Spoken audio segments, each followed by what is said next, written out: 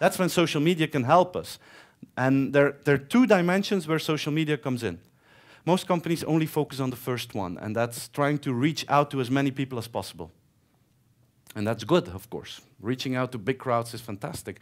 But there's also a second opportunity, and that's collaboration, working together with our, with our employees and with our clients.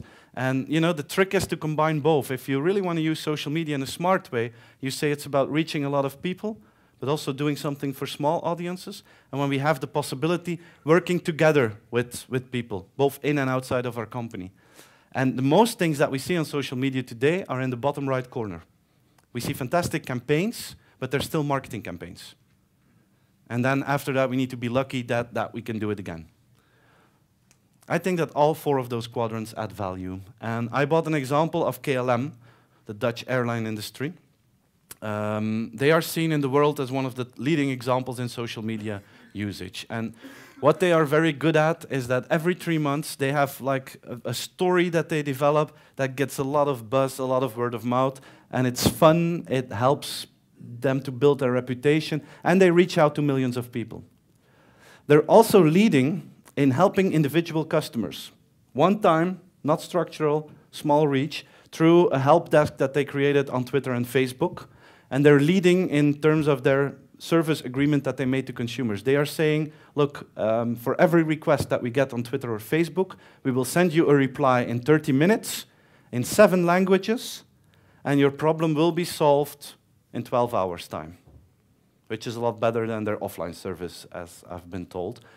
And, but it's one of the strongest online service propositions I've ever seen. 30 minutes reply time, 24-7, seven languages, problem solved in 12 hours. That helps to build trust and to boost the conversation potential. But they do more.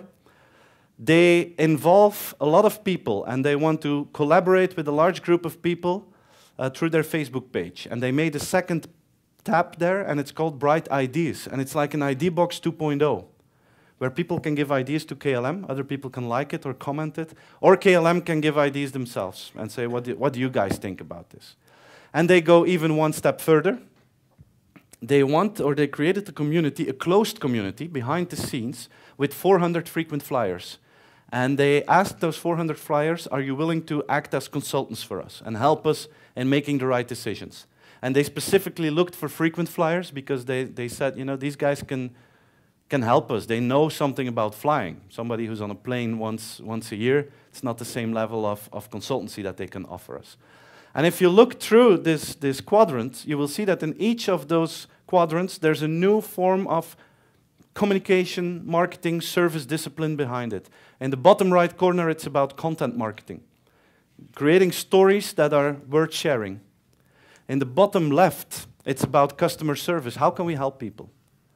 In the top right, it's about big, large forms of collaboration. How can we structurally involve people into our decision on a large uh, scale? And the top left is, can we create a customer consulting board? Can we use people as consultants? And overall, use a philosophy of conversation. Listen to people and talk back.